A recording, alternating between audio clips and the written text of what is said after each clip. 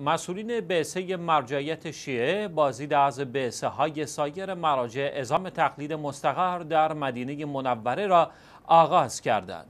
به گزارش شیعه ویوز مسئولین بعثه مرجع عالیقدر حضرت آیت الله العظمی سید صادق حسینی شیرازی دام ظله با حضور در بعثه آیت الله العظمی سید علی سیستانی بعثه آیت الله العظمی شیخ اسحاق فیاض به سی آیت العظما شیخ بشیر نجفی به سی آیت العظما سید سعید حکیم و به سی آیت العظما سید کاظم الحائری.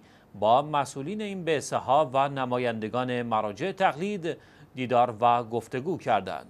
در این دیدارها موضوعاتی مختلف از جمله فعالیت‌های دینی و فرهنگی در ایام حج و رسیدگی به امور حجاج بیت الله الحرام و آخرین تحولات جهان اسلام مورد بحث و بررسی قرار گرفت.